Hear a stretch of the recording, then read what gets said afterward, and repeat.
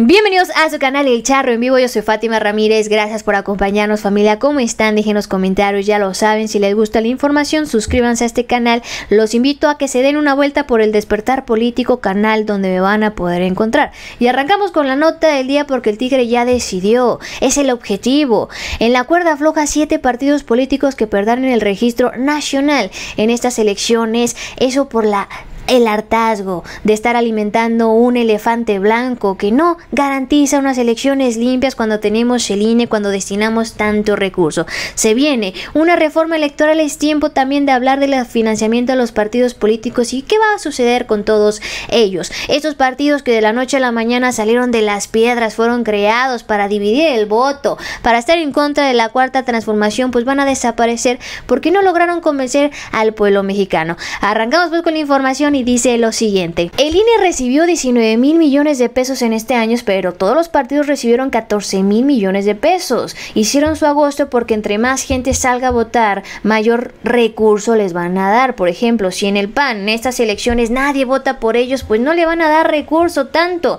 En cambio, si Morena se lleva todas las elecciones, le van a dar un friego de dinero y la cuestión es qué le hacen a todo ese recurso porque según la constitución tienen que destinarlo a gasto ordinario, o sea, sus dinero internamente, que si tienen a personas trabajando, bueno, de ahí se paga, que si hacen asambleas del partido, ahí se paga, pero también tienen que destinar a impulsar la democracia, que los mexicanos queramos participar, que yo quiero ser diputada, sí, bueno, me tienen que impulsar y la verdad es que no lo hacen y se pierde todo ese recurso. Ahora, si hay tanto dinero, ¿por qué entonces los gastos de, campaña no se respetan? ¿Qué les hace falta a partidos políticos?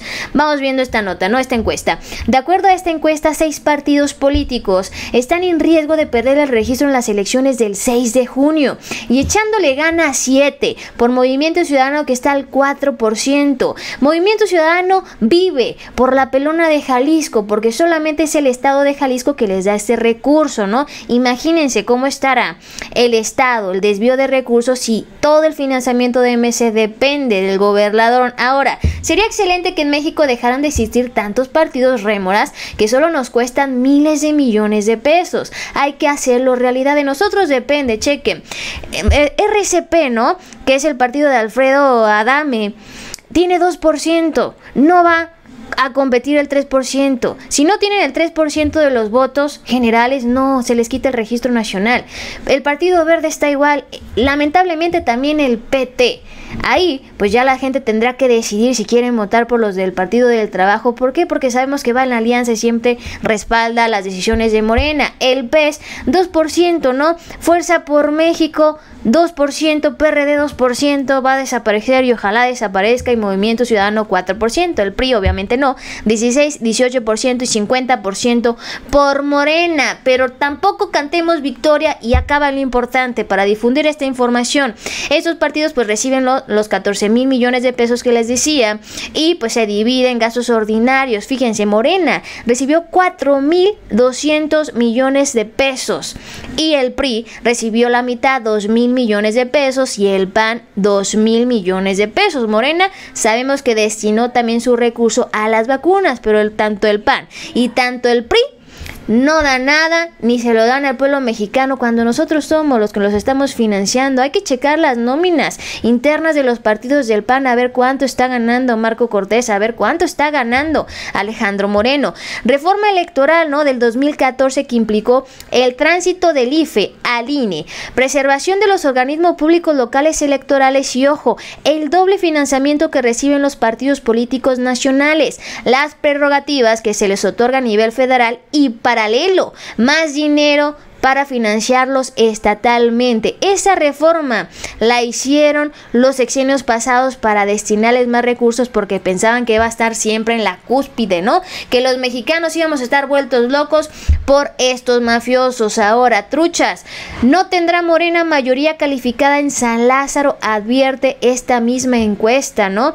Truchas aquí porque se necesita la mayoría para hacer reformas constitucionales. Obviamente, si el PT, sus aliados tienen, pues van a tener la mayoría, pero ojo, o sea, no hay que confiarnos. Perdería la mayoría absoluta y la posibilidad de una votación calificada en la Cámara de Diputados. Se mantendría como la bancada mayoritaria con 250 legisladores, pero estaría acotada por otras fuerzas políticas de oposición. Morena perdería seis curules, de 256 pasaría a 250, ¿no? Que ostenta actualmente y de esta manera dejaría la mayoría absoluta que se equivale a la mitad más uno que detenga en la legislatura que está por renovarse. Es importante tener esta mayoría. Y si la gente quiere seguir con la cuarta transformación, con las reformas, con limpiar el Instituto Nacional Electoral, bueno, pues se tiene que tener Morena la mayoría y recordemos también que se lo quiere frigar desde Lorenzo Córdoba y Sino Murayama.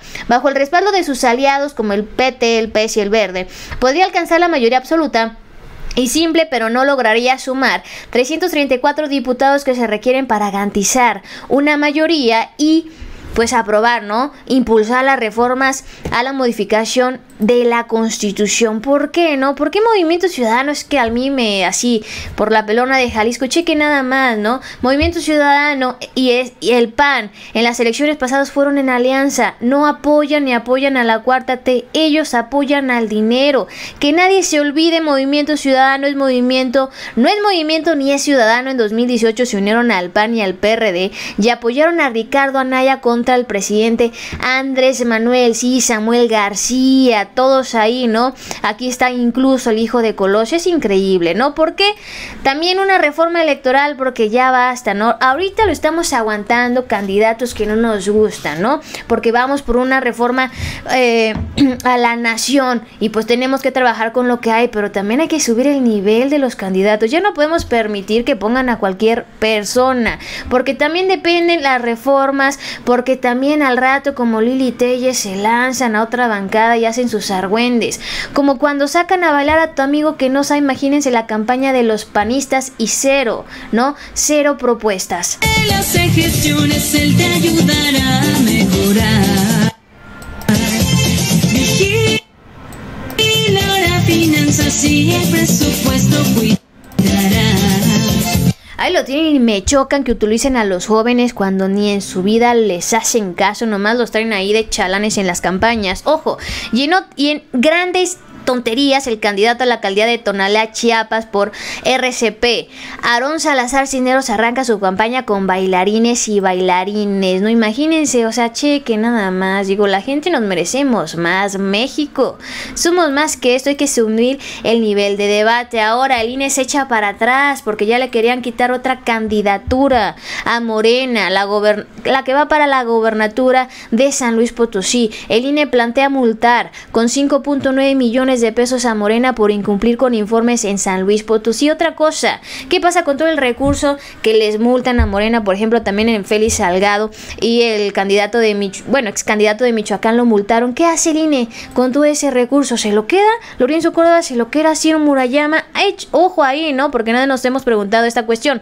Además, la comisión plantea multar a los morenistas Mónica Rangel, Paloma Rachel y Luz María Lastras con 434 mil pesos. Llamaría del Consuelo, Consuelo sancionarla con una amonestación pública. Imagínense, se echaron para atrás porque ya les iba. Luego, luego salió toda la gente a señalar, oye. Y fíjense, se echaron sus maromas porque le querían quitar la candidatura por no entregar gastos de precampaña. Y a Felicia Morón sí se la quitaron, pero a esta no se la quitaron, ¿no? Entonces ahí no, no hay una congruencia con Lencho ni Ciro Murayama y sus consejeros paleros. Ciro Murayama señaló que el INE no planteaba cancelar candidatura morena y aseguró que las afirmaciones en ese sentido eran mera especulación y falta victimización, o sea, todo el hecho la culpa, ¿no? Ah, están haciendo un argüende porque quieren subir sus puntos y ahí la disputa entre Lina y Morena acá es una mentira de Lorenzo Córdoba y llama. Ahora, ¿qué dijo el presidente? Que la verdad se lo merece, ¿no? Los consejeros porque no fiscalizan absolutamente nada, se les van las despensas, se les van los tinacos, se les van las tarjetas, es una burla.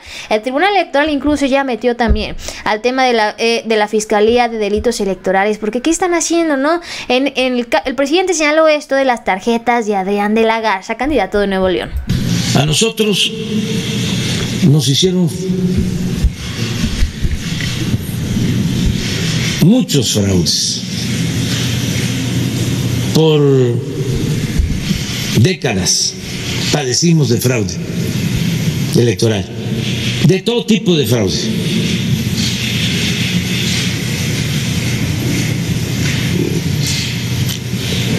Nos robaron la presidencia de la República. ¿Cómo no voy a denunciar el fraude electoral? Sí se necesita la democracia.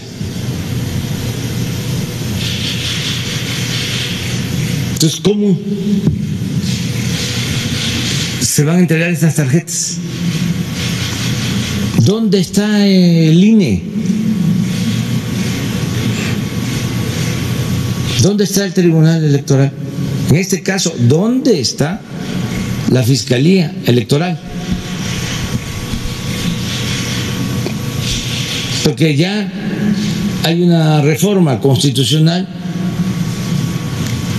que establece que es delito grave el fraude electoral. Pero si no hay denuncia, pues la constitución, las leyes se convierten en letra muerta.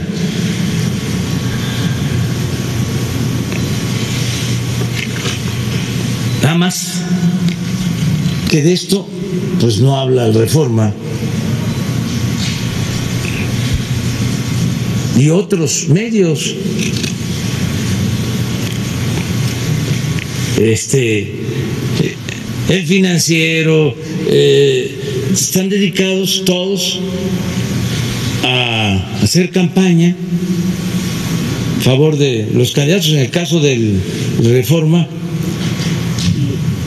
su eh, otro periódico es El Norte Lo tienen familia, el presidente se está rifando por el pueblo mexicano. Sabemos que el INE quiere encarcelar o quiere arrestarlo 36 horas. Mientras todos los medios de información callan con los chinacos, con la compra de votos que las despensan los trailers que se han encontrado la fiscalía ni sus luces. Ojo aquí, que los únicos que podemos salvar esto y los que van a tomar la decisión es el pueblo mexicano. Tenemos que salir a votar por quien quieran, pero salgan a votar. Si les gustó la información, suscríbanse al canal. Yo soy Fátima Ramírez y nos vemos hasta la próxima. prossime.